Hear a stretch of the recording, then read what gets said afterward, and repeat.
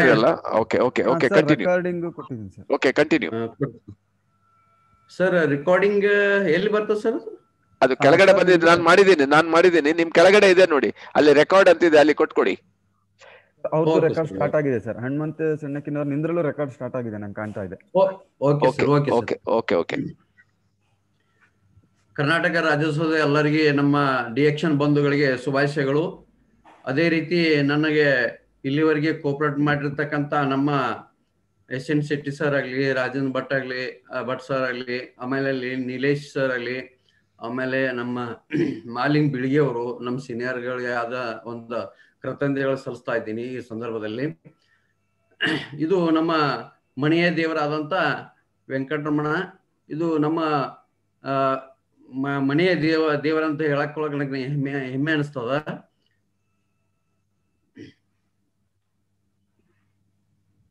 ಇದು ನಿಧಾನ ಹೇಳಿ. ನಿಧಾನ ನಿಧಾನಕ್ಕೆ ಹೇಳಿ. ಏನು ತೊಂದರೆ ಇಲ್ಲ. ನಮ್ಗೆ ಟೈಮ್ ಇದೆ. ಇವತ್ತು ಸಂಡೇ ಇದೆ. ಆರಾಮ್ಸೆ ಹೇಳಿ ಸಣ್ಣಕ್ಕೆನವ್ರೆ. No problem. ಇದು ನಮ್ಮ ಗ್ರಾಮ ದೇವರಾದ ಚನ್ನ ವಶ್ವೇಂದ್ರ ಲೀಲಾಮಠ ಅಂತಂದು ಅಲ್ಲಿ ಗ್ರಾಮ ದೇವರು. ಇದು ದೊಡ್ಡ ಒಂದು ಪವಾಡ ಪುರುಷರು. ಪ್ರತಿ ವರ್ಷನೂ ಇಲ್ಲಿ ಐದು ದಿನಗಳ ವೇದಾಂತ ಪರಿಷತ್ ಅಂತ ಜ ಆಗ್ತದ. ಇಲ್ಲಿ ಶಿವಾನಂದ ಭಾರತಿ ಸ್ವಾಮಿಗಳವರು ಬಂದು ಪ್ರವಚನ ಸಾರ್ವಜನಿಕರ ಸುಮಾರು ಇಲ್ಲಿ ಐವತ್ತು ಹಳ್ಳಿಗಳಿಗೆ ಏನ್ ಮಾಡ್ತಾರಂದ್ರ ಅವ್ರಿಗೆಲ್ಲರಿಗೆ ಒಂದು ಪ್ರವಚನ ನೀಡ್ತಕ್ಕಂತ ಒಂದು ದೇವಸ್ಥಾನ. ಈ ದೇವಸ್ಥಾನದಲ್ಲಿ ಪ್ರತಿನಿತ್ಯನೂ ಅನ್ನ ಸಂತರ್ಪ ಮತ್ತು ಇದು ನಡೀತದ. ಆಮೇಲೆ ಈ ದೇವಸ್ಥಾನದಲ್ಲಿ ಅವರು ಗ್ರಾಮ ದೇವರಂತ ಒಂದು ಫೇಮಸ್ ಇದೆ ಒಂದು ಸಲ ಏನಾಯ್ತಪ್ಪ ಅಂದ್ರೆ ಪವಾಡ, ಈ ಗ್ರಾಮದಲ್ಲಿ ನೀರ್ ಸವಳ ನೀರಿದ್ದಾಗ ಅಲ್ಲಿ ಕುಡಿಯಕ್ ನೀರ್ ಇದ್ದಿದ್ದಿಲ್ಲ, ಅವರು ಒಂದು ಬಾವಿಯಲ್ಲಿ ದೇವರ ಕೊಂಡರ ಬಾವಿ ಅಂತ ಕರೀತಾರ. ಆ ಬಾವಿಯಲ್ಲಿ ಒಂದು ಮೂತ್ರ ವಿಸರ್ಜನೆ ಮಾಡಿದಾಗ ಸಾರ್ವಜನಿಕರಿಗೆ ಕುಡಿಯಕ್ ಹೇಳಿದಾಗ ಆ ನೀರನ್ನ ಪವಿತ್ರ ತೀರ್ಥ ಅಂತ ಪ್ರತಿ ಒಂದು ಕಾರ್ಯಕ್ರಮ ಯಾವುದೇ ಆಗ್ಬೇಕಾದ್ರೆ ಆ ನೀರನ್ನ ಎಲ್ಲರೂ ಅಲ್ಲಿ ದೇವರು ಓದು, ಅದು ದೇವಸ್ಥಾನದಲ್ಲಿ ನೀರು ಇದನ್ನ ಮಾಡ್ಕೊಂಡು ಆಮೇಲೆ ಸಿಂಪಡಿಸ್ಕೊಂಡು ಆಮೇಲೆ ಪ್ರತಿನಿತ್ಯ ಕಾರ್ಯಕ್ರಮ ನಡೆಯುವಂತ ಒಂದು ಸಂಪ್ರದಾಯಕವಾಗಿದೆ ನೆಕ್ಸ್ಟ್ ಇವರು ನಮ್ಮ ತಂದೆ ತಾಯಿ ಹೇಳ್ಕೊ, ಅಂತ ಹೇಳ್ಕೊಳಕ್ಕೆ ಹೆಮ್ಮೆ ಅನಿಸ್ತದ. ಇವ್ ನಾನು ನಮ್ಮ ಮನೆಯಲ್ಲಿ ಐದು ಜನ ಗಂಡು ಮಕ್ಕಳು, ಮೂರು ಜನ ಹೆಣ್ಣು ಮಕ್ಕಳು ಮನೆಗೆ ಹಿರಿಯ ಮಗ ನಾನೇ. ಆಮೇಲೆ ನಮ್ಮ ಮ- ಎಲ್ಲರೂ ಒಳಗೆ ದೊಡ್ಡವ್ ನಾನೇ ಆದಾಗ ನಮ್ಮ ತಂದೆಯವರು ಕಷ್ಟ ಪಡ್ತಿದ್ರು ಒಂದು ಐದು ಎಕರೆ ಜಮೀನ್ ಅದ ಜಮೀನದಲ್ಲಿ ನಾವು ಏನ್ ಮಾಡ್ತಾ ಇದ್ದೀವಿ ಅಂದ್ರ ಒಕ್ಕಲ್ತನ ಮಾಡ್ತಾ ಇದ್ವಿ ಬೆಳೆ ಬೇಸಾಯ. ಆದ್ರೆ ಆ ಬೇಸಾಯದಲ್ಲಿ ಬರ್ತಕ್ಕಂತ ಇದರಲ್ಲಿ ನಮ್ಮ ಕುಟುಂಬ ನಿಭಾಯಿಸಬೇಕಾದ್ರೆ ಬಹಳ ಕಷ್ಟ ಆಯ್ತು ಆಗ್ತಿತ್ತು. ಆಮೇಲೆ ನಾನು ಒಂಬತ್ತನೇ ಕ್ಲಾಸ್ ಸ್ಕೂಲ್ಗೆ ಹೋಗ್ತಾ ಇದ್ದಾಗ ನಮ್ಮ ತಂದೆಯವರು ಒಬ್ಬರೇ ದುಡಿತಿದ್ರು. ಅವಾಗ ನಾನು ಅವರ ಜೊತೆಯಲ್ಲಿ ಕೆಲವೊಂದಿಷ್ಟು ದಿನಗಳಲ್ಲಿ ನಾನು ಕೆಲಸ ಮಾಡ್ತಾ ಇದ್ದೆ. ಯಾಕಂದ್ರೆ ನಮ್ಮ ತಮ್ಮಂದಿರು ಚಿಕ್ಕ, ಚಿಕ್ಕವರಿದ್ದಿದ್ರು ಎಲ್ಲರೂ. ಚಿಕ್ಕವರಿದ್ದಾಗ ನಾನು ನಮ್ಮ ತಂಗಿ ತಂಗಿಗಳಾದ ಮೂರು ಜನ. ಅವರು ಮೂರು ಜನ ಚಿಕ್ಕವರಿದ್ರು. ಆಮೇಲೆ ಏನಾಗ್ತದೆ ಅಂದ್ರೆ ಎಲ್ಲರನ್ನು ಕುಟುಂಬವನ್ನು ನಿಭಾಯಿಸ್ತಕ್ಕಂಥದ್ದು ಕಷ್ಟ ಆಗ್ತದೆ ಭಯಂಕರ. ಅವಾಗ ನಮ್ಮ ಏನು ನಮ್ಮ ತಂದೆಯವ್ರು ಕಷ್ಟ ಪಡ್ತಿದ್ರಲ್ಲ ಆ ಕಷ್ಟ ಪಡೋದ್ರೊಳಗೆ ನಾನು ಒಂದ್ ಸ್ವಲ್ಪ ಸಹಭಾಗಿ ಆಗ್ತಿದ್ದೆ ಅವ್ರಿಗೆ. ಅಂದ್ರೆ ಸಹಭಾಗಿ ಅಂದ್ರೆ ಏನ್ರಿ, ಅವಾಗ ಈ ಬೆಲ್ಲ ತಯಾರು ಮಾಡ್ತಾರಲ್ಲ, ಬೆಲ್ಲ ತಯಾರು ಮಾಡುವಂತ ಆಲಿಮಣಿ, ಆಲಿಮಣಿಯಲ್ಲಿ ನಮ್ಮ ನೆಲದಲ್ಲೇ ರೌಂಡ್ ಮಾಡಿ ಒಗಿತಕ್ಕಂತ ಇದನ್ನ ಪದ್ಧತಿ ಇತ್ತು. ಬೆಳಿಗ್ಗೆ ಐದರಿಂದ ನಾನು ನಾಲ್ಕೂವರೆ ಐದು ಗಂಟೆಗೆ ಎದ್ದು ಹೋಗಿ ಅವ್ರಿಗೆ ಹೆಲ್ಪ್ ಮಾಡಿ, ಆ ಅವಾಗ ಅವರಲ್ಲಿ ಒಂದು ಊಟಕ್ಕೆ ಅಥವಾ ನಾಷ್ಟಕ್ಕೆ ಕಳಿಸಿ, ಆಮೇಲೆ ನಾನು ಕೆಲಸ ಮಾಡ್ತಿದ್ದೆ. ಇದೇ ರೀತಿ ನಾನು ಇನ್ನು ವಿದ್ಯಾ, ಅದರ ಜೊತೆಯಲ್ಲೇ ನಾನು ವಿದ್ಯಾಭ್ಯಾಸ ಸಹ ಕಂಟಿನ್ಯೂ ಮಾಡಿದೆ. ಇದು ನಾವು ಮೊದಲ ವಾಸ ಮಾಡ್ತಕ್ಕಂಥ ಮನೆ. ಇದರಲ್ಲಿ ನಾವು ಟೋಟಲು ನಮ್ಮ ತಂದೆ, ತಾಯಿ, ಆಮೇಲೆ ಮೂರು ಜನ ನಮ್ಮ ಅಕ್ಕ ತಂಗಿಯರು ಮತ್ತು ನಮ್ಮ ಅಣ್ಣ ತಮ್ಮಂದಿಯರು ಕೂಡಿ ಸೇರಿ ಒಂದು ಬೆಳದ ಮನೆ ಇದು ನಾನು ಕಾಲೇಜ್ ಹಂತದಲ್ಲಿ ಹೈಸ್ಕೂಲ್ ಹಂತ ಮುಗಿಸಿ ಕಾಲೇಜ್ ಹಂತದಲ್ಲಿ ನಾನು D M C art master, A M G D ಮುಗಿಸ್ಬೇಕಾದ್ರೆ ಆಗ, ಅವಾಗ ನಾನು ಬೆಳಿಗ್ಗೆ ಏಳು ಗಂಟೆಯಲ್ಲಿ ನಾಲ್ಕೂವರೆ, ಏಳು ಗಂಟೆಗೆ ನಾಲ್ಕೂವರೆಗೆದ್ದು ಸಂಯುಕ್ತ ಕರ್ನಾಟಕ ಪೇಪರ್ ಊರಲ್ಲೆಲ್ಲ ಸಪ್ಲೈ ಮಾಡಿ ಆ ನಂತರ ಬೆಳಿಗ್ಗೆ ಏಳು ಗಂಟೆಗೆ ಮಾಲಿಂಗ್ಪುರ್ ಅಥಣಿ ಬಸ್ಸಿಗೆ ಹೋಗಿ ಅಥಣಿಯಲ್ಲಿ D N C first year second year third year fourth year fifth year ಐದು ವರ್ಷಗಳ ಡಿಗ್ರಿ ಮುಗಿಸಿದೆ. ಇದು ಈ ಬಂದಂತ ಈ ಪಾನ್ ಶಾಪ್ ಭಾಗ್ಯಲಕ್ಷ್ಮಿ ಪಾನ್ ಶಾಪ್ ಅಂತಕ್ಕಂಥ ಈ ಅಂಗಡಿಯ ಮೇಲೆ ನಾನು ಐದು ವರ್ಷಗಳ ನನ್ನ ವಿದ್ಯಾಭ್ಯಾಸವನ್ನು ಮುಗಿಸಿದೆ. ಇದು ನಂತರ, ಇದನ್ನು ಮುಗಿಸಿದ ನಂತರ ನಾನು ನಮ್ಮ ಅವಾಗ ಮೂರು ಗಂಟೆಗೆ ಎರಡೂವರೆ ಮೂರು ಗಂಟೆಗೆ ನಂತರ ನಮ್ಮ ತಂದೆಯವರು ಅಥವಾ ಯಾರೇ ಬಂದು ಊಟ ಇಡ್ತಿದ್ರು, ಆ ಊಟನ ಆಮೇಲೆ ಮಾಡ್ತಿದ್ದೆ. ಬೆಳಿಗ್ಗೆ ಎದ್ದ ತಕ್ಷಣ ಉಪವಾಸನ ಹೋಗಿ ನಾನು ವಿದ್ಯಾಭ್ಯಾಸ ಮಾಡ್ತಿದ್ದೆ. ನೆಕ್ಸ್ಟ್ ನಂತರ ನಾನು ಕಾಲೇಜಲ್ಲಿ ಇರ್ತಕ್ಕ ಇದ್ದಾಗ ನಾನು ಪೇಂಟಿಂಗ್ಸ್ ಮಾಡಿರ್ತಕ್ಕಂಥ ಪೇಂಟಿಂಗ್ಸ್ಗಳು ಇವೆಲ್ಲ. ನಾನು ಅವ, ಆ- ವೇಳೆಯಲ್ಲಿ ಕಲಿತ ಪೇಂಟಿಂಗ್ಸ್ ಕೆಲವೊಂದಿಷ್ಟು ಅದಾವ, ಎಲ್ಲ ಹಾಳಾಗಿದಾವು. ಆದ್ರೆ ಕೆಲವೊಂದಿಷ್ಟು ಪೇಂಟಿಂಗ್ಸ್ ಮಾತ್ರ ನನ್ನ ಹತ್ರ ಉಳಿದಿವೆ. ಉಳಿದದ್ದನ್ನು ನಾನು ಒಂದು ಸ್ಲೈಡಿಂಗ್ ಮಾಡಿ ಅದನ್ನ ಇಟ್ಕೊಂಡಿದ್ದೀನಿ. ಇದು ನಾನು ಏನ್ ಮಾಡ್ತಾ ಇದ್ದೀನಿ ಅಂದ್ರೆ ಪೇಂಟಿಂಗ್ಸ್ ಮಾಡುವ ವೇಳೆಯಲ್ಲಿ ನಂದು ಇದು ಡಿಗ್ರಿ ಕಂಪ್ಲೀಟ್ ಆದಾಗ ಇದು ನಮ್ಮ ಶಿಕ್ಷಕರು ಜೊತೆಗೆ ಹಾಗೂ ನನ್ನ, ಅಂದ್ರ ನಮ್ಮ ವಿದ್ಯಾರ್ಥಿ ಮಿತ್ರರು ಎಲ್ಲರೂ ಇಲ್ಲಿ ನಾನು ಸೆಂಟ್ರ್ ಸೆಂಟ್ರದಲ್ಲಿ ಇದ್ದೀನಿ. ಆ ನಂತರ ನಂದು ಡಿಗ್ರಿ ಕಂಪ್ಲೀಟ್ ಆದ ನಂತರ ನಂದು ಮ್ಯಾರೇಜ್ ಆಯ್ತು. ಮ್ಯಾರೇಜ್ ಆದ ತಕ್ಷಣ ನಾನು ನಮ್ಮ ಮಿಸ್ಸಸ್ ಇವರು, ಲಕ್ಷ್ಮೀ ಸನಕ್ರೆ ಅವ್ರ ಅಂತಂದ. ನಂತರ. ಇದು ನಾನು ಮೊದಲಿಗೆ ತಗೊಂಡ ಬೈಕ್ ಇದು ಒಂದು ಸೈಕಲ್ ನಾಲ್ಕುನೂರ ಐವತ್ತು ರೂಪಾಯಿ ಕೊಟ್ಟು ಇದನ್ನು ನನ್ನ ಫಸ್ಟ್ ಸಂಪಾದನೆಯಲ್ಲಿ ತೆಗೆದುಕೊಂಡಂತ ಇದೊಂದು ಸೈಕಲ್ ಈ ಸೈಕಲ್ ಮೇಲೆ ನಾನು ಎಲ್ಲ ಜರ್ನಿ ಮಾಡ್ತಾ ಇದ್ದೆ. ಆಮೇಲೆ ಇದು ಈ ಬೋರ್ಡದೊಂದು ದೊಡ್ಡ ಸ್ಟೋರಿ ಇದೆ. ಏನಪ್ಪಾ ಅಂದ್ರೆ ಇದು ಸಂಗೀತ ಸೌಂಡ್ ಸರ್ವಿಸ್ ನಾನು ಪೇಂಟಿಂಗ್ ಮುಗಿಸಿದೆ. ಪೇಂಟಿಂಗ್ ಮುಗಿಸಿದ ತಕ್ಷಣ ಇದು ಏನಾಯ್ತಪ್ಪ? ಕೆಲಸ ಇಲ್ಲ, ಏನಿಲ್ಲ ಏನಾರ ಉದ್ಯೋಗ ಮಾಡಬೇಕು, ನಾನು ಕಲ್ತ ನಂತರ ಇದನ್ನ ಮಾಡ್ಬೇಕಂತ ಇದು ವಿಚಾರ ಇಟ್ಕೊಂಡು ಇದು ಮಾಡಿದಾಗ, ಈ ಒಂದು ಬೋರ್ಡ್ ಅನ್ನ ಮೂರು ತಿಂಗಳವರೆಗೆ ನಾನು ಬರೆದಿದ್ದೀನಿ. ಹೆಂಗ ಬರ್ದಿದ್ದೀನಪ್ಪ ಅಂದ್ರ, ಒಂದು ಅಂಗಡಿ ಸ್ಟಾರ್ಟ್ ಮಾಡಿದೆ. ಸಣ್ಣ ಅಂಗಡಿ. ಅಂಗಡಿ ಸ್ಟಾರ್ಟ್ ಮಾಡಿದಾಗ ಜನರಿಗೆ ಗುರುತಾಗೋ ಸಲುವಾಗಿ ನಾನು ಏನು ಮಾಡಿದೆ? ಸ್ವಲ್ಪ ಬರೆಯೋದು ಆಮೇಲೆ ಇದನ್ನ ಮಾಡೋದು. ಯಾಕಂದ್ರೆ ಈಗ ತಕ್ಷಣ ನಾನು ಬರೆದು ಕೊಟ್ಟಿನಂದ್ರೆ ಅಂಗಡಿ ಇವನ ಈ ಬೋರ್ಡ್ ಓದಿ ಬಿಡ್ತಾನ. ಆಮೇಲೆ ನೆಕ್ಸ್ಟ್ ನಾ ಏನ್ ಕೆಲಸ ಮಾಡ್ತೀನಿ ಅನ್ನೋದು ಗೊತ್ತಾಗೋದಿಲ್ಲ ತಂದ ನಾನು ಏನ್ ಮಾಡಿದೆ ಇದನ್ನ? ನಾನು ಅಂಗಡಿ ಮುಂದೆ ಇಟ್ಕೊಂಡೆ ಇಟ್ಕೊಂಡು ಸರ್ವ ಸಾಧಾರಣ ಮೂರು ತಿಂಗಳವರೆಗೆ ಇದನ್ನು ಬೋರ್ಡ್ ಬರ್ದೆ. ಯಾಕಂದ್ರೆ ನನಗೆ ಇನ್ನೊಂದು ಬೋರ್ಡ್ ಬರೋ ಈ ಬೋರ್ಡನ್ನ ನನ್ನ ಅಂಗಡಿ ಮುಂದೆ ಇರ್ಬೇಕು. ಅವಾಗ ಒಂದ್ ಸ್ವಲ್ಪ ಬಣ್ಣ ಹೊಡಿದು ಇದನ್ನ ಮಾಡೋದು, ಆಮೇಲೆ ಬರಿದು. ಅಂದ್ರೆ ನಾ ರೈಟಿಂಗ್ ಮಾಡ್ತೇನೆ ಅನ್ನೋದು ಗೊತ್ತಾಗಬೇಕಲ್ಲ ಜನರಿಗೆ. ಆ ಆ ಉದ್ದೇಶಗೋಸ್ಕರ ಇದನ್ನು ಸರ್ವಸಾಧಾರಣ ಫಸ್ಟ್ ನಾನು ನನ್ನ ಪೇಂಟಿಂಗ್ ಸ್ಟಾರ್ಟ್ ಮಾಡಿದಾಗ ನಾನು ಮೊದಲನೇ ಬಂದಂತ ಬೋರ್ಡು ಸಂಗೀತ ಸೌಂಡ್ ಸರ್ವಿಸ್ ಅಂತ ಈ ಅಂಗಡಿಯ ಬೋರ್ಡನ್ನ ನಾನು ಮೊದಲಿಗೆ ರಚಿಸಿದೆ. ನಂತರ ಇದು ಇದು ನಮ್ದು ಅಂಗಡಿ. ಇದು ಸುಮಾರು ಈ ಒಂದು ನಾ, ಇಪ್ಪತ್ತ್ ಮೂರು ಇಪ್ಪತ್ನಾಲ್ಕು ವರ್ಷಗಳ ಮುಂಚೆ. ಇದು ಅನ್ನಪೂರ್ಣೇಶ್ವರ ಹೋಟೆಲ್ ಅಂತದ. ನೆಕ್ಸ್ಟ್ ಇದು ಬರ್ದಂತ ಇದು ಬೋರ್ಡ್. ಈ ಬೋರ್ಡ್ ಅನ್ನ ಸುಮಾರು ಇದನ್ನು ಇದನ್ನು ಮಾಡಿದೆ ಇದು ಅನಂತರ ಇದು ಕ್ರಮೇಣವಾಗಿ ಬರ್ತಾ ಇದಾವೆ ಕೆಲಸಗಳು ಸ್ಟಾರ್ಟ್ ಆದವು ಒಂದೊಂದು ಆಯ್ತಾ ಒಂದೊಂದು ಆಯ್ತಾ ಈ ಬರಿತಾ ಹೋದೆ ಹಂಗೆ. ಆಮೇಲೆ ಇದು ಟ್ರಕ್ ಬೋರ್ಡ್. ಇವು ಎಲ್ಲ ಟ್ರಕ್ ಬೋರ್ಡ್ ಬರ್ತಾ ಇದ್ವು. ಇವರು ನಮ್ಮ ತಂದೆಯವರು ಬರ್ತಾ ಇದ್ರು. ಆಮೇಲೆ ಇದು ಮತ್ತೆ ನೆಕ್ಸ್ಟ್ ಇಯರ್ ಹಿಂಗೆ ಬರ್ತಾ ಇದೆ ಟ್ರಕ್ ಬೋರ್ಡ್ ಎಲ್ಲ ನಾನು ಬೇರೆ ಬೇರೆ ತರದ ಎಲ್ಲ ಕೆಲಸಗಳನ್ನು ಮಾಡ್ತಾ ಇದ್ದೆ ಅದರ ಜೊತೆಯಲ್ಲಿ ಇದನ್ನ ಮಾಡ್ತಾ ಇದ್ದೆ. ಆಮೇಲೆ ಅಚಾನಕ ಒಂದು ಸಲ ಏನಾಯ್ತಪ್ಪ ಅಂದ್ರ ದುರಾದೃಷ್ಟನೋ ಏನೋ ಗೊತ್ತಿಲ್ಲ. ರಸ್ತೆ ಮೇಲೆ ಒಂದು ನಾಲ್ಕು ಜನ ನಡ್ಕೊಂತ ಹೋಗುವಾಗ ರಸ್ತೆ ಪಕ್ಕದಲ್ಲಿ ಕೂಲಿ ಕಾರ್ಮಿಕರು ಹೋಗುವ ವೇಳೆಯಲ್ಲಿ, ಆ ವೇಳೆಯಲ್ಲಿ ಏನಾಯ್ತು? ಟ್ರಕ್ ಅವ್ರ ಕೂಲಿ ಕಾರ್ಮಿಕರ ಮೇಲೆ ಹಾಯ್ದೋಯ್ತು ಹಾಯ್ದು ಹೋದಾಗ ಅವರು ಸರ್ಸದ ಆ ವೇಳೆಯಲ್ಲಿ ನಾಲ್ಕರಿಂದ ಐದು ಜನ ಸ್ಪಾಟ್ ಡೆತ್ ಆದ್ರು. ಡೆತ್ ಆದ ತಕ್ಷಣ ಅವರು, ಸರ್, ಇದು ಒಂದ್ ಸ್ವಲ್ಪ ಇರ್ಲಿ. ಓಕೆ ಬ್ಯಾಕ್ ಸರ್ ಡೆತ್ ಆದ್ರು. ಡೆತ್ ಆದಾಗ ಇನ್ನೊಂದು ಸ್ವಲ್ಪ ಸರ್ ಡೆತ್ ಆದ್ರು ಡೆತ್ ಆದ ತಕ್ಷಣ ಬೆಳಗಾಂದಿಂದ ಡಿ ಸಿ ಅವರು ಆರ್ಡರ್ ಮಾಡಿದ್ರು. ಇರ್ಲಿ ಸರ್ ಬೆಳಗಾಂದಿಂದ ಡಿ ಸಿ ಅವರು ಆರ್ಡರ್ ಮಾಡಿದ್ರು. ಡಿ ಸಿ ಅವರು ಆರ್ಡರ್ ಮಾಡಿದ ತಕ್ಷಣ ಏನು ರಸ್ತೆ ಪಕ್ಕದಲ್ಲಿ ಇರ್ತಕ್ಕಂತ ಅಂಗಡಿಗಳನ್ನ ಎಲ್ಲ ಡೆಮಾಲೇಷನ್ ಮಾಡ್ಬೇಕಂತ ಆರ್ಡರ್ ಮಾಡಿದ್ರು. ನಾವು ಇರ್ಲಾಕಾಗ್ಲೆ ಏನಾಯ್ತು? ನಮ್ಗೆ ಏನು ಗೊತ್ತೇ ಇಲ್ಲ. ಅಚಾನಕ ಬೆಳಿಗ್ಗೆ ಬಂದ ತಕ್ಷಣ ಎರಡೂ ಕಡೆಯಿಂದ ಜಿ ಸಿ ಬಿ ಹಚ್ಚಿಬಿಟ್ರು. ನಾವು ರಾತಾರಾತ್ರಿನ ಏನ್ ಆಯ್ತು? ಎಲ್ಲಾ ಕಡೆದ ಕಿತ್ಕೊಂಡು ಹೋಗಿ ಇದನ್ನ ಮಾಡಿ ಅಂಗಡಿ ಫಸ್ಟ್ ಅಂಗಡಿ ನಮ್ಮದು ಇದು ಡೆಮಾಲೇಷನ್ ಆದ ನಂತರ ನಾವು ಬೇರೆ ಕಡೆ ಶಿಫ್ಟ್ ಆದೀವಿ. ಅದ ನಂತರ ಏನಾಯ್ತು ನಾನು ಮತ್ತ ತೊಂದರೆ ಆಯ್ತು. ತೊಂದರೆ ಆದ ತಕ್ಷಣ ಬೇರೆ ಕಡೆ ಇದೀವಿ ಅದೇ ನಾನು ಮೊದಲಿಗೆ ತಗೊಂಡದ್ದು ಬೈಕ್ ತರ ಮದುವೆ ಡೆಕೋರೇಷನ್ ಮಾಡ್ತಿದ್ದೆ. ಆಮೇಲೆ, ಎಲ್ಲ ಫಂಕ್ಷನ್ಗಳಿಗೆ ಹೋಗಿ ಈ ರೀತಿ. ಆಮೇಲೆ first bike ತಗೊಂಡದ್ದು Bajaj four stroke K M I T major ಅಂತದ. ಇವರು ನಮ್ಮ, ಇವರೆಲ್ಲ ಚಿಕ್ಕ ಚಿಕ್ಕ ನಮ್ಮ ಅತ್ತೆ ಮನೆಗೆ ಹೋದಾಗ, ಈಗ ಬೈಕ್ ತಗೊಂಡು ಹೋದಾಗ ಮಕ್ಕಳೆಲ್ಲ ಗಾಡಿ ಮೇಲೆ ಕುಂತ, ಕುಂತದ್ದು. ಸರ್ ನೆಕ್ಸ್ಟ್ ನಂತರ ನನ್ನ ಅಂಗಡಿ ಡೆಮಾಲಿಷನ್ ಆದ್ಮೇಲೆ ಇದು ಎರಡನೇ ಅಂಗಡಿ. ಎರಡನೇ ಅಂಗಡಿ ಅಂದ್ರೆ ಇಲ್ಲಿ ಏನು ಮಾಡಿದ್ದೆ ಅಂದ್ರೆ ಒಂದು ಚೇಂಜಸ್ ಮಾಡಿದೆ ಮೊದಲನೇ ಅಂಗಡಿಯಲ್ಲಿ ಶಿಲ್ಪ ಆರ್ಟ್ಸ್ ಅಂತ ನಾನು ಪೇಂಟಿಂಗ್ ಅಷ್ಟ ಮಾಡ್ತಾ ಇದ್ದೆ. ಇಲ್ಲಿ ಡಿಜಿಟಲ್ ಫೋಟೋಗ್ರಾಫಿ ಅಂತ ನಾನು ಇದನ್ನ ನಾಮಕರಣ ಮಾಡಿಕೊಂಡು ಈ ಅಂಗಡಿಯನ್ನ ಸ್ಟಾರ್ಟ್ ಮಾಡಿದೆ.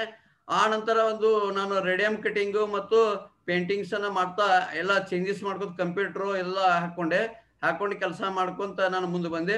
ಇದಕ್ಕಿಂತ ಮುಂಚೆ ನಾನು ಏನ್ ಮಾಡಿದೆ ಅಂದ್ರೆ ಹುಬ್ಬಳ್ಳಿಗೆ, ನಮ್ದು ಡಿ ಎಂ ಸಿ ಮುಗಿದ ತಕ್ಷಣ ನಾನು ಹುಬ್ಳಿಗೆ ನಾನು ಶಿಕ್ಷಕನಾಗಿ, ಚಿತ್ರಕಲಾ ಶಿಕ್ಷಕನಾಗಿ ಪ್ರಿಯದರ್ಶಿನಿ ಪ್ರೌಢಶಾಲೆ ಹುಬ್ಬಳ್ಳಿ. ಇಲ್ಲಿ ಅದು ಆ ಗುರುನಾಥ ನಗರ ಸಿದ್ಧಾರೂಢ ಮಠದ ಹಿಂದಿನ ಸೈಡ್ ಅದ ಶಿಕ್ಷಕನಾಗಿ ಹೋದೆ. ಸುಮಾರು ಏಳು ವರ್ಷದ ಕಾಲ ನಾನು ಪೇಮೆಂಟ್ ಇಲ್ಲದೆ, ಹತ್ತು ಪೈಸೆ ಪೇಮೆಂಟ್ ಇಲ್ಲದೆ ನಾನು ಸುಮಾರು ಅಲ್ಲಿ ಕೆಲಸ ಮಾಡಿದೆ.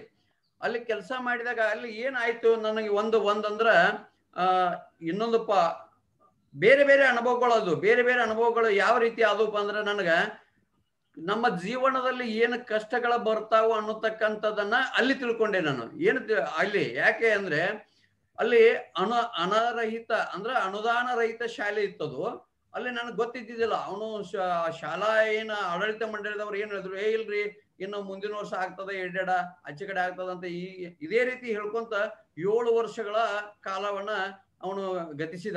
ನಂತರ ನನಗೆ ಏನಾಯ್ತು ಅಂದ್ರೆ ಒಂದು ಸಲ ನಾನು ಧಾರವಾಡ ಬಿ ವಿ ಆಫೀಸ್ಗೆ ಹೋದಾಗ ಅವ್ರು ಹೇಳಿದ್ರು, ಇದು ಅನರಹಿತ, ಅಂದ್ರೆ ಅನುದಾನ ರಹಿತ ಶಾಲೆಗಳದಾವ, ಇದು ಒಟ್ಟ ಏಡೆಡ್ ಆಗೋದಿಲ್ಲ, ನೀ ಯಾಕೆ ಕೆಲಸ ಮಾಡ್ತಾ ಇದ್ದೀಪ ಇಲ್ಲಿ? ಅಂತ ಅಂದಾಗ ನಾನು ಏನ್ ಮಾಡಿದೆ ಬಿಟ್ಟು, ಅಲ್ಲಿ ರೇಣುಕಾ ಆರ್ಟಿಸ್ಟ್ ಮತ್ತು ಬಿ ಪಿ ಲಿಂಗಮ್ ಅಂತ ಸಿನಿಮಾ ಬ್ಯಾನರ್ ಕಟೌಟ್ಗಳು ತಯಾರಿಕೆಗಿದ್ದು ಅಲ್ಲಿ ನಾನು ಪೇಂಟಿಂಗ್ ಮಾಡಕ್ ಹೋಗ್ತಾ ಹೋಗ್ತಾ ಇದ್ದೆ. ಆಮೇಲೆ ನಾನು ಬೆಳಿಗ್ಗೆ ಆರು ಗಂಟೆದಿಂದ ಎದ್ದು ಸಿಮೆಂಟ್ ಇಟ್ಟಂಗಿಗಳನ್ನ ನಮ್ಮ ಮಿಸ್ಸಸ್ ನಾನು ಇಬ್ರು ಕೂಡಿ ನೂರ ಎಂಬತ್ತು ಇಟ್ಟಿಗೆ ಇಟ್ಟಿಗೆಗಳನ್ನ ಮಾಡ್ತಿದ್ವಿ. ಒಂದು ಇಟ್ಟಿಗೆಗೆ ಎರಡು ರೂಪಾಯಿ ಕೊಡ್ತಿದ್ರು. ಅದರ ನಂತರ, ಆ, ಮತ್ತು ಒಂಬತ್ತರಿಂದ ಐದು ಗಂಟೆವರೆಗೆ ಚಿತ್ರಕಲಾ ಶಿಕ್ಷಕರ ತಂದ ಆಗಿ ನಾನು ಸ್ಕೂಲ್ಗೆ ಕಲಿಸ್ಲಿಕ್ಕೆ ಹೋಗ್ತಿದ್ದೆ. ಆಮೇಲೆ ಬಂದು ಊಟ ಮಾಡಿ, ಆಮೇಲೆ ಐದೂವರೆಯಿಂದ ರಾತ್ರಿ ಒಂಬತ್ತು ಗಂಟೆ ತನಕ ಇದು ಬಿ ಪಿ ಲಿಂಗಮ್ಮ ಮತ್ತು ರೇಣುಕಾ ಆರ್ಟಿಸ್ಟ್ ಅಂತ ಆರ್ಟಿಸ್ಟ್ ಇದ್ರು. ಅಲ್ಲಿ ಸಿನಿಮಾ ಟೈಟಲ್ಗಳನ್ನು ಬರೆಯಕ್ಕೆ ಹೋಗ್ತಿದ್ದೆ.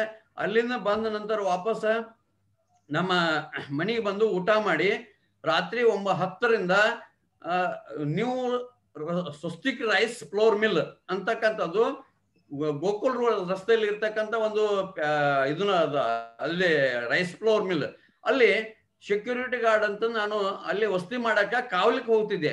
ಇದು ನನಗೆ ಬರ್ತಕ್ಕಂಥ ಸಂಭಾವನೆ ಅವಾಗ ನಾಲ್ಕುನೂರ ಐವತ್ತು ರೂಪಾಯಿ ಬರೀ ಯಾರು ಕೊಡ್ತಿದ್ರು? ಸೆಕ್ಯೂರಿಟಿ ಗಾರ್ಡ್ದವ್ರು ಕೊಡ್ತಿದ್ರು. ನನಗ ಮತ್ತ ಆಮೇಲೆ ನಾನು ಪೇಂಟಿಂಗ್ ಏನ್ ಮಾಡ್ತಾ ಇದ್ದೀನಲ್ಲ ಪೇಂಟಿಂಗ್ ಮಾಡ್ತಾ ಇದ್ದಾಗ ಅವರು ನಾಲ್ಕುನೂರ ಐವತ್ತು ರೂಪಾಯಿ ಕೊಡಿದ್ರು. ಬರೀ ನನಗೆ ಒಂಬತ್ತು ನೂರು ರೂಪಾಯಿದಲ್ಲಿ ಆವಾಗ ನಾನು ಇಪ್ಪತ್ತ ನಾಲ್ಕು ವರ್ಷಗಳ ಹಿಂದೆ ಈ ಕೆಲಸ ಮಾಡ್ತಾ ಇದ್ದೆ. ಅದರ ನಂತರ ಏನ್ ಬರ್ತಾ ಇತ್ತು ಆಮೇಲೆ ನಾನು ಬರ್ತಾ ಬರ್ತಾ, ಆ, ಬಸವೇಶ್ವರ ಮಾರುಕಟ್ಟೆ ಅಂತಂದು ನಮ್ಮ ಹುಬ್ಳಿಯಲ್ಲಿ ಇರ್ತಕ್ಕಂಥ ಬಸವೇಶ್ವರ ಮಾರುಕಟ್ಟೆ ಅಮರಗೊಳಕ್ಕೆ ಶಿಫ್ಟ್ ಆದಾಗ ನಾನು ಹಗಲಿರುಳು ಅನ್ನೋದೇ ರಾತ್ರಿ ಹಗಲಿರುಳು ಅನ್ನೋದೇ ಪೇಂಟಿಂಗ್ ಮಾಡಿ ಸರ್ವ ಸದ ಹತ್ತರಿಂದ ಹದಿನೈದು ವರ್ಷಗಳ ಕೆಲಸ ಮಾಡಿದೆ. ಹತ್ತರ ಹದಿನೈದು ಒಂದು ಎರಡು ಮೂರು ವರ್ಷ, ಎರಡು ಮೂರು ವರ್ಷ ಕೆಲಸ ಮಾಡಿದ ತಕ್ಷಣ ಅಲ್ಲಿ ಏನಾಯ್ತು? ಒಂದು ಹದಿನೈದರಿಂದ ಇಪ್ಪತ್ತು ಸಾವಿರ ರೂಪಾಯಿ ಅಮೌಂಟ್ ಸಂದಾಯ ಆಯ್ತು ಕೂಡಿತು ಆ ಅಂದಾಯ, ಆ ನಂತರ ನಾನು ಊರಿಗೆ ಬಂದೆ. ಊರಿಗೆ ಬಂದಾಗ ನನ್ನ ಮನೆಯೆಲ್ಲ ತುಡುಗಾಯ್ತು. ತುಡುಗಾದ ತಕ್ಷಣ ಆಮೇಲೆ ಅಲ್ಲಿಂದ ಬಂದು ಮತ್ತು ವಾಪಸ್ ತಿರುಗಿ ಹೋಗೋದ್ರೊಳಗೆ ಮನೆಯಲ್ಲಿ ಇರ್ತಕ್ಕಂಥ ವಸ್ತುಗಳೆಲ್ಲ ಚಲಾಪಿಲಿ ಆಗಿದ್ದು, ಯಾವ ವಸ್ತುಗಳು ಇದ್ದಿದ್ದಿಲ್ಲ. ಇರ್ತಕ್ಕಂಥ ಎಲ್ಲ ಅಮೌಂಟ್ ಕಳುವಾಗಿತ್ತು, ಎಲ್ಲ ಕಳುವಾಗಿತ್ತು. ನಂತರ ಅಲ್ಲಿಂದ ಮತ್ತೆ ನಾನು ವಾಪಸ್ ಬಂದು ಹಾರಿಗಿರಿ ಬಂದೆ. ಹಾರಿಗಿರಿ ಬಂದು, ಇಲ್ಲ ಈ ರೀತಿ ಆಯ್ತು, ಹಿಂಗಾಯ್ತು ಅಂತಂದ್ರೆ ಅಷ್ಟೊತ್ತಿಗೆ ನಮ್ಮ ಮಿಸಸ್ ಡಿಲೆವರಿ ಆಗಿ ಮನೆಯಾಗಿದ್ರು ಆಮೇಲೆ ನಾನು ಇಲ್ಲಿ ನಮ್ಮ ಇಲ್ಲೇ ಸ್ಥಳೀಯ ಇಲ್ಲಿ ಶ್ರೀ ಮಹರ್ಷಿ ಮಹರ್ಷಿ ವಾಲ್ಮೀಕಿ ಲಲಿತ ಕಲಾ ಮಂದಿರ ಅಂತಂದ ಒಂದು ಚಿತ್ರಕಲಾ ಮಂದಿರದಲ್ಲಿ ನಾನು ದಿನದ ಹತ್ತು ರೂಪಾಯಿದಂತೆ ನಾ ಎರಡ್ನೂರ ನಲ್ವತ್ತು ರೂಪಾಯಿಗೆ ಅವರಲ್ಲಿ ಕೆಲಸ ಮಾಡ್ತಾ ಇದ್ದೆ. ಯಾಕಂದ್ರೆ ನಾಲ್ಕು ದಿನ ಏನು ಬರ್ತಿದ್ವಲ್ಲ, ನಾಲ್ಕು ದಿನ ಬಂದಾಗ ಸೂಟಿ, ಸಂಡೇ ಬಂದ್ರೆ ಅವ್ನು ಪೇಮೆಂಟ್ ಕಟ್ ಮಾಡ್ತಿದ್ದ. ಕಟ್ ಮಾಡಿ ನನಗೆ ಕೆಲಸ ಅವ ತಗೋತಿದ್ದ ಅಲ್ಲಿ ಪೇಮೆಂಟ್ ಆಮೇಲೆ ಒಂದು ಸಲ ನಾ ಅವ್ರಿಗೆ ನನಗೆ ಒಂದು ಸ್ವಲ್ಪ ಕ್ರ್ಯಾಶ್ ಆಯ್ತು. ಏನು ಕ್ರ್ಯಾಶ್ ಆಯ್ತಂದ್ರ ದುಡ್ಡು ತಗೊಂಡವ್ರಿಗೆ ಹೈ ರಿಸಲ್ಟ್ ಕೊಡ್ತೀರಿ. ನೀವು ರೆಗ್ಯುಲರ್ ಬಂದಂತ ವಿದ್ಯಾರ್ಥಿಗಳಿಗೆ ನೀವು ಇದನ್ನ ಕೊಡಂಗಿಲ್ಲ ಮಾರ್ಕ್ಸ್ ಹಾಕೋದಿಲ್ಲ ಮತ್ತು ವಿದ್ಯಾರ್ಥಿಗಳು ಬಂದು ನನಗೆ ಏನ್ ಹೇಳ್ತಾರೆ, ಸರ್, ಮತ್ತ ಅಲ್ರಿ ನಾವು ದಿನ ಪ್ರತಿನಿತ್ಯ ಬರ್ತೀವಿ ವರ್ಕ್ ಮಾಡ್ತೀವಿ, ಎಲ್ಲ ಮಾಡ್ತೀವಿ. ಆ ವೇಳೆಯಲ್ಲಿ ನಮಗೆ ಸ್ಕೋರ್ ಆಗ್ತಾ ಇಲ್ಲ. ಆಮೇಲೆ ದುಡ್ಡು ಕೊಟ್ಟು ಯಾರು ಇದನ್ನ ಮಾಡ್ತಾರೋ ಆ ಟೈಮ್ದಲ್ಲಿ ಸ್ವಲ್ಪ ಇತ್ತು. ಅದು ಯಾಕೆ ದುಡ್ಡು ಕೊಟ್ಟವ್ರಿಗೆ ಹೆಚ್ಚಿಗೆ ಮಾರ್ಕ್ಸ್ ಹಾಕಿ ರಿಸಲ್ಟ್ ಕೊಡೋದು ಇದನ್ನ ಮಾಡೋದು ತಕ್ಕಂತ ಒಂದು ಇತ್ತು. ಮ್ಯಾನೇಜ್ಮೆಂಟ್ ದವ್ರು ಮಾಡ್ತಿದ್ರು. ಆ ರೀತಿ ಮಾಡಿದಾಗ ನಾನು ಹೇಳಿದೆ, ಇಲ್ಲಪ್ಪ ಮತ್ತೆ ಈಗ ನನಗೆ ಹತ್ರ ಇಲ್ಲ, ಅವರು ಸಂಸ್ಥೆದವರು ಡಿಪೆಂಡ್ ಇರ್ತದ ಅಂದ. ಸರ್ ಹಾಗಾದ್ರೆ ನಾವು ದುಡ್ಡು ಕೊಟ್ಟ ಕಲಿಯಾಕ್ ಬರ್ತೀವಲ್ರಿ? ಮತ್ ನಾವು ವರ್ಷಾನು ವರ್ಷ ಗಂಟ್ಲೆ ಬಂದು ಪೇಂಟಿಂಗ್ ಮಾಡಿ ಕಲಿತಕ್ಕಂಥದ್ದು ಏನು ಅವಶ್ಯಕತೆ ಅದ ಇರ್ತ ಅಂತಕ್ಕಂಥದ ಅವ್ರು ನನ್ನ ಮಂದಿ ಹೇಳ್ಕೊಂಡಾಗ ನಾನು ತಕ್ಷಣ ಬಿಟ್ಟೆ. ಬಿಟ್ಟು ಅಂಗಡಿಯನ್ನು ಸ್ಟಾರ್ಟ್ ಮಾಡಿದೆ. ನಂತರ ನಾನು ಫೋಟೋಗ್ರಾಫಿ ಸ್ಟಾರ್ಟ್ ಮಾಡಿದ ತಕ್ಷಣ ಬೆಳಗಾವ್ ಸಿಂಧ್ ಫೋಟೋಗ್ರಾಫಿ ಸಿಂಡಿಕೇಟ್ ಬ್ಯಾಂಕ್ದಲ್ಲಿ ಟ್ರೈನಿಂಗ್ ಇತ್ತು ಉಚಿತವಾಗಿ. ಹನ್ನೊಂದು ದಿವಸ ಅಲ್ಲಿ ನಾನು ಓದದ್ದು ಈ ಫೋಟೋ ಸರ್ ನೆಕ್ಸ್ಟ್ ಅಲ್ಲಿ ಬಾಬಾ ರಾಮಣ್ಣ ಅವರ ತಂದು ನಮಗೆ ಹನ್ನೊಂದು ದಿವಸ ಟ್ರೈನಿಂಗ್ ಕೊಟ್ಟು ಇದನ್ನ ಮಾಡಿ ಫೋಟೋಗ್ರಾಫಿ ವಿಡಿಯೋ ಶೂಟಿಂಗ್ ಟ್ರೈನಿಂಗ್ ಕೊಟ್ಟ ನಂತರ ಅವರು ನನಗ ಅಲ್ಲಿ ಒಂದು ಇದನ್ನ ಮಾಡಿದ್ರು. ಫಸ್ಟ್ ಟೈಮ್ ನನಗೆ ಮಾತಾಡಕ್ಕೆ ಅವಕಾಶ ಕೊಟ್ಟಂಥದ್ದು. ಆಮೇಲೆ ನಾನು ವಿಡಿಯೋ ಶೂಟಿಂಗು ಮತ್ತು ಫೋಟೋಗ್ರಫಿ ಟ್ರೈನಿಂಗ್ದಲ್ಲಿ ಔಟ್ಡೋರ್ ಕರ್ಕೊಂಡು ಹೋದಾಗ ಇದು ಇದನ್ನ ಮಾಡಿರ್ತಕ್ಕಂಥದ್ದು. ಆಮೇಲೆ ಇಲ್ಲಿ ಕೆಲವೊಂದು ಏನ್ ಮಾಡಿರ್ತಕ್ಕಂಥದ್ರ ಬೇರೆ ಬೇರೆ ಕಡೆಗೆ ನಮಗೂ ಯಾವ ರೀತಿ ಫೋಟೋಗ್ರಫಿ ಮಾಡಬೇಕು, ಹೆಂಗ್ ಮಾಡಬೇಕು, ಅಂದ್ರೆ ಹರಿತಕ್ಕಂಥ ನೀರನ್ನ ಯಾವ ರೀತಿ ಫೋಟೋಗ್ರಫಿ ಮಾಡಬೇಕು ಅಂತಕ್ಕಂಥದ್ದು ಎಲ್ಲ ನನಗೆ ಟ್ರೈನಿಂಗ್ ಕೊಟ್ಟವರು ಇದು ನನಗೆ ಅವಾಗ ಫೋಟೋಗ್ರಾಫಿ ಟ್ರೈನಿಂಗ್ ಕೊಟ್ಟಿರ್ತಕ್ಕಂಥ ಶಿಕ್ಷಕರು. ಆಮೇಲೆ ನೆಕ್ಸ್ಟ್ ಎರಡನೇ ನಂತರ ಇದು ನನ್ನ ಎರಡನೇ ಬೈಕ್ ಈ ಬೈಕದಲ್ಲಿ ನನ್ನ ಪತ್ನಿ ನಾನು ಒಂದ್ಸಲ ಅತನಿಗೆ ಹೋದಾಗ ಕೃಷ್ಣಾ ನದಿಯಲ್ಲಿ ದಂಡೆಗೆ ನಿಂತು ಒಂದು ಫೋಟೋ ತಕ್ಕೊಂಡ್ರಿ ಅಂತಂದಾಗ ಇದು ಫೋಟೋ ತಕ್ಕೊಂಡದ್ದು. ಆಮೇಲೆ ನಮ್ಮ ಅಂಗಡಿಯಲ್ಲಿ ಶ್ರೀ ಇವರು ನಮ್ಮ ನಮ್ಮ ಬಸವಗುರು ಮಹಾರಾಜರಂತೂ ಮೊಗಲ್ಕೋಡ್ ಮತ್ತು ಅಚ್ಲೇರಿ ಜಡಗಾದವರು. ನಾನು ಮಿಷನ್ ನಮ್ಮ ಅಂಗಡಿಗೆ ಕರೆಸಿದಾಗ ಫಸ್ಟಿಗೆ ಬಂದು ಪೂಜೆ ಮಾಡಿ, ನಮ್ಮ ಮಿಷನ್ ಅನ್ನು ಪೂಜೆ ಮಾಡಿರ್ತಕ್ಕ ಸಂದರ್ಭ. ಇವರು ಶಿವಾನಂದ ಭಾರತಿ ಅಪ್ಪ, ಅಪ್ಪಾಜಿ ಅವರು ಇನ್ಸಲದ ಇವರು ಸಹ ನಮ್ಮ ಅಂಗಡಿಗೆ ಬಂದು ಮಿಷನ್ ಅನ್ನು ನೋಡಿ ಆ ಟೈಮ್ದಲ್ಲಿ ನಾನು ಇದು ಮಾಡಿದ್ದು. ಪಕ್ಕಕ್ಕೆ ಅವರು ಮಠದ ಆಡಳಿತ ಮಂಡಳಿಯವರು ಅವ್ರ ಪಾದ ಪೂಜೆ ಮಾಡಿದ ಸಂದರ್ಭ. ಆಮೇಲೆ ನಾನು ಅವಾಗ ಇದು ಇಪ್ಪತ್ತೈದು ವರ್ಷಗಳ ಮುಂಚೆ ನಾನು ನಾನು ಕಲ್ತಂತ ವಿದ್ಯಾಭ್ಯಾಸದಿಂದ ಈ ಸೈಂತ್ ಕರ್ನಾಟಕ ಕರ್ಮವೀರ ಈ ಇದ್ರದ್ದು ಪತ್ರಿಕೆ ಮೇಲೆ ನಾನು ಆರ್ಟ್ ಕಲ್ತಿದ್ನಲ್ಲ, ಆ ಬೋರ್ಡನ್ನ ಸಹಿತ ನಾನು ಇನ್ನಿವರೆಗೆ ಇಟ್ಕೊಂಡಿದ್ದೀನಿ ಆಮೇಲೆ ಒಂದ್ಸಲ ಏನಾಯ್ತು, ಇವರು ಆರೋಗ್ಯ ಮಂತ್ರಿಗಳಾಗಿ ನಮ್ಮ ಶ್ರೀರಾಮಲು ಬರುವ ವೇಳೆಯಲ್ಲಿ, ಇದು ಇಪ್ಪತ್ತು, ಎರಡ್ ಸಾವಿರದ ಹತ್ತರಲ್ಲಿ ಅವಾಗಾಗಿ ನಾನು ವರದಿಗಾರನಾಗಿ ಅವಾಗ ನಾನು ಪ- ಪತ್ರಿಕೆ ತಗೊಂಡಾಗ ವರದಿಗಾರನಾಗಿ ಕೆಲಸ ಮಾಡ್ತಾ ಇದ್ದೆ. ಆಮೇಲೆ ನಾನು ಇದು ತುಮಕೂರದಲ್ಲಿ ಒಂದು ಫಂಕ್ಷನ್ ಇತ್ತು. ಅವಾಗ ತುಂಬ ಅಲ್ಲಿ ಹೋದಾಗ ಇದನ್ನ ನಾನು ತೆಗೆಸ್ಕೊಂಡದ್ದು. ನೆಕ್ಸ್ಟ್ ಕನ್ನಡ ಸಾಹಿತ್ಯ, ಐದನೇ ಕನ್ನಡ ಸಾಹಿತ್ಯ ಸಮ್ಮೇಳನದಾಗ ನನಗೆ ಫಸ್ಟ್ ಟೈಮ್ ಸನ್ಮಾನ ಆದದ್ದು ಇದು. ಫಸ್ಟ್ ಫಸ್ಟ್ ಮೊದಲಿಗೆ ಇದು. ನಂತರ ಕೆಲವೊಂದು ವೇಳೆ ಇದೇ ರೀತಿ ನಾವು ನಮ್ಮ ಜರ್ನಿ ಬೆಳ್ಕೊಂತ ಬೆಳ್ಕೊಂತ ಬಂತು. ಆಮೇಲೆ ಮುಂದೆ ನಮ್ಮ ಶಿವಾನಂದ ಪ್ರವಚನ ನಮ್ಮ ಊರಲ್ಲಿ ನಡೆದಾಗ ಜಗದ ಗುರುಗಳಿಂದ ಆಮೇಲೆ ಹೀಗೆ ಬೇರೆ ಬೇರೆ ರೀತಿಯಾದ ಪ್ರವಚ, ಇದು ಎಲ್ಲ ನಮಗೇನು ಸನ್ಮಾನ, ಸಿದ್ದೇಶ್ವರ ಸ್ವಾಮಿಗಳ ಕಾರ್ಯಕ್ರಮವಾಯ್ತು ತಿಂಗಳ, ಒಂದು ತಿಂಗಳ ನಿರಂತರ. ಒಂದು ತಿಂಗಳದಲ್ಲಿ ನಿರಂತರ ನಾವು ನಮ್ಮ ಪತ್ರಿಕೆಯಲ್ಲಿ ಪ್ರಕಟವಾಗಿದ್ದು ಅವಾಗ ಅವರು ಇದನ್ನ ಮಾಡಿದ್ದು. ಆಮೇಲೆ ನಮ್ಮ ಗ್ರಾಮದ ಇವ್ರ ಸದಸ್ಯರು ಬಸವ ಗುರುಗಳಿಂದ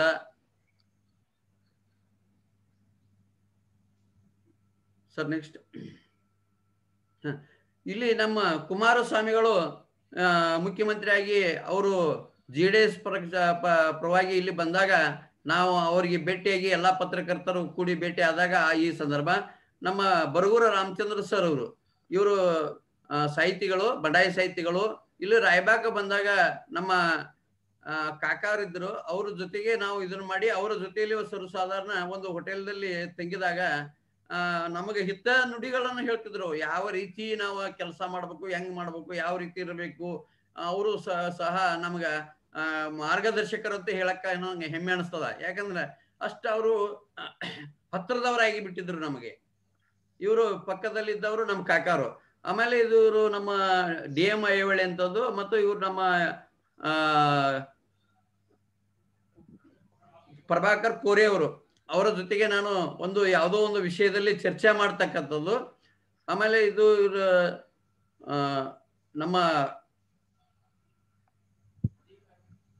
ಜಿ ಪರಮೇಶ್ವರ ಜೊತೆಗೆ ಬೆಂಗಳೂರಿಗೆ ಹೋದಾಗ ಒಂದು ನಮ್ಮ ಹರಗಿರಿ ತಾಲೂಕ ಮಾಡಬೇಕಂತ ಹೋದಾಗ ಅಲ್ಲಿ ಮಾತಾಡಿದ್ದು. ಆಮೇಲೆ ಇವರು ವೀರಪ್ಪ ಮೊಯ್ಲಿಯವರಿಗೆ ಸಹ ಆ ವೇಳೆಯಲ್ಲಿ ಹೋದಾಗ ನೆಕ್ಸ್ಟ್ ಇದು ನಮ್ದು ಅಲಿಮಾರಿ ಜನಾಂಗದವರಿಗೆ ಒಂದು ಕಾರ್ಯಕ್ರಮ ಇದ್ದಾಗ ಅಲ್ಲಿ ಹೋಗಿ ನಾನು ನಮ್ಮ ನಮ್ಮ ಸಂಘಟನೆ ವತಿಯಿಂದ ನಮ್ಮ ಒಂದು ಫೋಟೋಗ್ರಫಿ ತಕ್ಕೊಂಡದ್ದು. ಇವು ನಮಗೆ, ನಮ್ಮ ನಾವು ಮಾಡಿರ್ತಕ್ಕಂಥ ನಮ್ಮ ಅಂಗಡಿಯಲ್ಲಿ ಮಾಡಿ ಕೊಡ್ತಕ್ಕಂಥ ಇವು ಸೀಲ್ಸ್ ಮೊಮೆಂಟ್ಸ್ ಇವೆಲ್ಲ ನಾವು ರೆಡಿ ಮಾಡಿ ಕೊಡ್ತಾ ಇದ್ದೀವಿ. ಸಾಕಷ್ಟು ಜನರಿಗೆ ನಾವು ನಮ್ಮ ಇಲ್ಲಿಂದ ನಮ್ಮ ಸೇವೆಯನ್ನು ಸಲ್ಲಿಸಿದ್ದೀವಿ. ಹಾ, ಆಮೇಲೆ ಇನ್ನೊಂದು, ಇಲ್ಲಿ ನಮಗೊಂದು ದುರಾದೃಷ್ಟ ಏನೋ ಗೊತ್ತಿಲ್ಲ. ಒಟ್ಟಿಗೆ ನಂದು ಇಲ್ಲಿವರೆಗೆ ಅಂದ್ರೆ ಆರು ಸಲ ಅಂಗಡಿ ಡೆಮಾಲಿಷನ್ ಆಯ್ತು. ಇದು ಎರಡನೇ ಸಲ. ಎರಡನೇ ಸಲ ಯಾವ ಹೆಂಗಾಯ್ತಪ್ಪ ಅಂದ್ರ ಕೆರೆ ಒತ್ತುವರಿ, ಕೆರೆ ಹತ್ತಿರ ನಾನು ಮತ್ತೊಂದು ಅಂಗಡಿ ಹಿಡಿದಿದ್ದೆ, ಎರಡನೇ ಅಂಗಡಿ. ಅವಾಗ ಏನಾಯ್ತು ಚಲೇದು ಕೆರೆ ಸುತ್ತರಿಗೆ ಇರ್ತಕ್ಕಂಥ ಅಂಗಡಿಯನ್ನ ಒತ್ತುವರಿ ಮಾಡಿರ್ತಕ್ಕಂಥ ಅಂಗಡಿಯನ್ನು ತೆರವುಗೊಳಿಸಬೇಕಂತ ಆರ್ಡರ್ ಮಾಡಿದ್ರು ಡಿ ಸಿ ಅವರು. ಅವಾಗ ಎಲ್ಲಾ ವಸ್ತುಗಳನ್ನ ನಾವು ತೆಗೆದುಕೊಳ್ಳೋದ್ರೊಳಗಾಗಿ ಅವರು ಬಂದು ಏನ್ ಮಾಡಿದ್ರು, ಎಲ್ಲಾ ಅಂಗಡಿಯನ್ನು ಡೆಮೋಲೇಶನ್ ಮಾಡಿ ಎಲ್ಲಾ ಮಾಡಿದ್ರು. ಸುಮಾರು ಇಲ್ಲಿ ಇಲ್ಲಿ ಎರಡು ಒಂದು ಇಪ್ಪ, ಹದಿನೈದರಿಂದ ಇಪ್ಪತ್ತು ಲಕ್ಷ ರೂಪಾಯಿ ಇನ್ವೆಸ್ಟ್ಮೆಂಟ್ ಮಾಡಿದೆ. ಈ ಅಂಗಡಿಯನ್ನು ತೆರವುಗೊಳಿಸೋ ಹೊತ್ತಿನಾಗ ಎಲ್ಲ ಜನ ಜಾತ್ರೆ ಎಲ್ಲ ಬಂದು ನಿಂತು ನೋಡಿದ್ರು. ಆದ್ರೂ ಇಲ್ಲಿ ನಾವು ಇದೀಗ ಹೊಂದಲಿಲ್ಲ ಅದೇ ಹಂಗೆ ಕೆಲಸ ಮಾಡ್ತಾ ಮಾಡ್ತಾ ನಾನು ಹಂಗ ಮುಂದೆ ಜರ್ನಿಯನ್ನು ಸ್ಟಾರ್ಟ್ ಮಾಡಿದೆ. ಆಮೇಲೆ ಅಲ್ಲಿಂದ ಬೇರೆ ಕಡೆ ನಾನು ಶಿಫ್ಟ್ ಆದೆ. ಆದ್ರೂ ಇಲ್ಲಿ ಏನಾಯ್ತಪ್ಪ ಅಂದ್ರ ನಂತರ ನೆಕ್ಸ್ಟ್ ನಾನು ಈ ಬ್ಯಾನರ್ ಪ್ರಿಂಟಿಂಗ್ ಮಿಷನ್ ಹಾಕಿದಾಗ ಮಾಲಿನ್ಪುರ್ಕ್ ನಾನು ಹೋದಾಗ ನಮ್ಮ ಬಿಳಿಗೆಯವ್ರ ಕಡೆ ಹೋದಾಗ ಬಿಳಿಗೆಯವರು ಅವ್ರ ಅಂಗಡಿಗೆ ಅವರು ಒಂದು ಬ್ಯಾನರ್ ಕೆಲಸ ಕೊಟ್ಟಿದ್ರು ಡಿಜಿಟಲ್ ಬೋರ್ಡ್ ಆ ಬ್ಯಾನರ್ ಅನ್ನು ಕೊಡಕ್ ಹೋದಾಗ ನಾನು ಡಿಎಕ್ಷನ್ ಟೀ ಪೌಡರ್ ಅನ್ನು ನೋಡಿದೆ. ಟೀ ಪೌಡರ್ ನೋಡಿದಾಗ ನನಗೊಂದ್ ಸ್ವಲ್ಪ ಅದ್ರದ ನನಗೆ ಎಸಿಡಿಟಿ ನನಗೆ ಹೆಲ್ತ್ ಪ್ರಾಬ್ಲಮ್ ಭಾಳ ಇತ್ತು. ಹೆಲ್ತ್ ಪ್ರಾಬ್ಲಮ್ ಇದ್ದಾಗ ನಾನು ಏನು ಮಾಡಿದೆ, ಅದನ್ನ ತಗೊಂಡೆ. ತಗೊಂಡು ನಾನು ಯೂಸ್ ಮಾಡಿದಾಗ ನಾನು ನಾಲ್ಕು ಅಥವಾ ಐದು ಗಂಟೆ ಆದಾಗ ನನಗೆ ಸಮಸ್ಯೆ ಆಗಿಬಿಡ್ತಿತ್ತು ಭಯಂಕರ. ಅವಾಗ ಅದನ್ನು ಉಪಯೋಗ ಮಾಡಿದಾಗ ನನಗೆ ಸರಿ ಆಯ್ತು. ಸರಿ ಆದ ತಕ್ಷಣ ಮತ್ತೇನೇನೋ ಪ್ರಾಡಕ್ಟ್ ಅದಾವ ಅಂತಕ್ಕಂಥದ್ದು ನಾನು ಕೇಳಿದೆ ಅವ್ರಿಗೆ ಬೆಳಿಗ್ಗೆ ಅವ್ರನ್ನ. ಕೇಳಿದ ತಕ್ಷಣ ಇಲ್ಲ ಅವರು ಬೇರೆ ಬೇರೆ ಬಹಳ ಪ್ರಾಡಕ್ಟ್ ಅದಾವ್ರಿ, ಅದನ್ನೆಲ್ಲ ನೀವು ಈ ಸದ ಒಂದು ನಿಮಿಷ ಅಥವಾ ಒಂದು ತಾಸಿನಲ್ಲಿ ಹೇಳಕ್ ಆಗೋದಿಲ್ಲ. ಆಮೇಲೆ ನಿಮಗೆ ಏನು ಸಮಸ್ಯೆ ಅದ ನಾನು ಹೇಳ್ರಿ, ಇಲ್ಲ ಇಲ್ಲ ಅಂದ್ರ ಹಿಂಗಂದ್ರು ಆ ನೆಕ್ಸ್ಟ್ ಒಂದು ಪೇಸ್ಟ್ ತಗೊಂಡೆ, ಆಮೇಲೆ ಸೋಪ್ ತಗೊಂಡೆ. ಅವಾಗ ನಾನು ಹತ್ತೊಂಬತ್ತು, ನಾಲ್ಕು, ಎರಡ್ ಸಾವಿರದ ಹದಿಮೂರರಲ್ಲಿ ನಾನು ಡಿಎಕ್ಷನ್ ಕಾರ್ಡ್ ಅನ್ನ ಮಾಡಿಕೊಂಡು ನಾನು ಜಾಯ್ನಿಂಗ್ ಆದೆ. ಅವಾಗ ಒಂದಿಷ್ಟು ಪ್ರಾಡಕ್ಟ್ ಗಳನ್ನ ನಮ್ಮ ಅಂಗಡಿಯಲ್ಲೇ ತಂದು ಇಟ್ಟುಕೊಂಡು ಈ ಭಾಗದ ಜನರಿಗೆ ಹೇಳ್ತಾ ಹೇಳ್ತಾ ಹೋದೆ. ಸುಮಾರು ನಂದು ಮೊದಲನೇ ಒಂದು ಜಾಯ್ನಿಂಗ್ ಆಗ್ಬೇಕಾದ್ರೆ ಒಂದು ವರ್ಷದ ತನಕ ನಾನೇ ಯೂಸ್ ಮಾಡಿದ್ದೀನಿ ಸ್ವತಃ. ಒಂದು ವರ್ಷದ ಯೂಸ್ ಆದ ನಂತರ ಡಾಕ್ಟರ್ ಕೊಪ್ಪಳ ಅವರು ಜಾಯ್ನಿಂಗ್ ಆದ್ರು. ಅದಕ್ಕಿಂತ ಮುಂಚೆ ನನ್ನ ಮಗಳು ಜಾಯಿನ್ ನಾನೇ ಯಾರು ಸಿಗಲಾರಕ ನಾನು ಸ್ವತಃ ನನ್ನ ಮಗಳನ್ನ ಜಾಯ್ನಿಂಗ್ ಮಾಡಿದೆ. ಮಾಡಿ ಅವಕ್ಕೆ ಅವರು ಈಗ ಸ್ಟಾರ್ ಆಗಿದ್ದಾರೆ. ಒಟ್ಟು ನನ್ನ ಟೋಟಲ್ ನನ್ನ ಕೆಳಗಡೆ ಇಪ್ಪತ್ನಾಲ್ಕು ಜನ ಸ್ಟಾರ್ ಬಂದಿದ್ದಾರೆ. ಒಬ್ರು ಡೈಮಂಡ್ ಬಂದಿದ್ದಾರೆ ಒಬ್ರು ರೂಬಿ ಅದಾರು. ಇದು ಫಸ್ಟ್ ಟೈಮ್ ನನಗೆ ಸ್ಟೇಜ್ ಮೇಲೆ ಸನ್ಮಾನ ಆದದ್ದು ಇದನ್ನ ಮಾಡ್ಕೊಂಡದ್ದು. ಇದು ನನ್ನ ಪಕ್ಕದಲ್ಲಿ ನನ್ನ ಪತ್ನಿ ಹಾಗೂ ಮೊಮ್ಮಗಳು ಮತ್ತು ನಮ್ಮ ಆ ವಿಜಯ್ ಕುಮಾರ್ ಸರ್ ನೆಕ್ಸ್ಟ್ ವಿಜಯ್ ಕುಮಾರ್ ಅದು ಇದ್ದಾರೆ. ಆಮೇಲೆ ಇದು ನಾವು ಫಂಕ್ಷನ್ ದಲ್ಲಿ ಅವಾರ್ಡ್ಸ್ ಅಂಡ್ ರಿವಾರ್ಡ್ಸ್ ಗಳನ್ನ ಡಿಎಕ್ಷನ್ ದಲ್ಲಿ ತಗೊಂಡಾಗ ಇದು ನನ್ನ ಮಗಳು.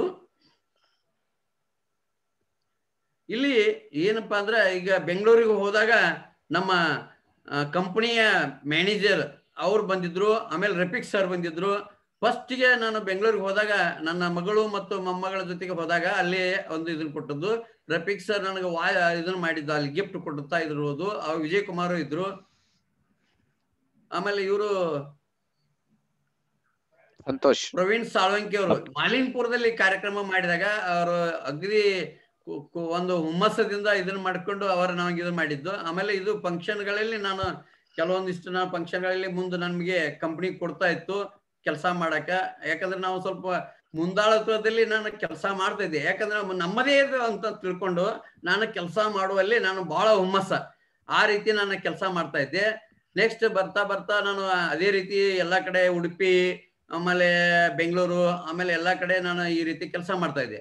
ಆ ನಂತರ ನನಗ ಏನಾಯ್ತು, ಮಾಲಿಂಗ್ಪುರ್ಕದಿಂದ, ಮಾಲಿಂಗ್ಪುರ ಮತ್ತು ಮುದೋಳು ದೂರ ಆಗ್ತಿತ್ತು ಸ್ಟಾಕ್ ಪಾಯಿಂಟ್ ಸ್ಟಾಕ್ ಪಾಯಿಂಟ್ ದೂರ ಆದಾಗ ಮೆಟ್ರೋಲ್ ಹೋಗಿ ತಗೊಂಡ್ಬರೋದು ತೊಂದರೆ ಆಗ್ತಿತ್ತು. ತೊಂದರೆ ಆದಾಗ ನಾನು ಏನ್ ಮಾಡಿದೆ ನಾನು ಅದೇ ವರ್ಷ ನಂದು ಡಿ ಎಂ ಐ ಇದು ಇದು ದೇಶಾನದ್ದು ಡಿ ಎಂ ಐ ಆಯ್ತು. ಅವಾಗ ನಾನು ನನ್ನ ಸ್ಟಾಕ್ ಪಾಯಿಂಟ್ ಬೇಕು ಅಂತ ಕೇಳಿದಾಗ ಏಳು ಒಂದು ಎರಡ್ ಎರಡ್ ಸಾವಿರದ ಹದಿನೇಳರಲ್ಲಿ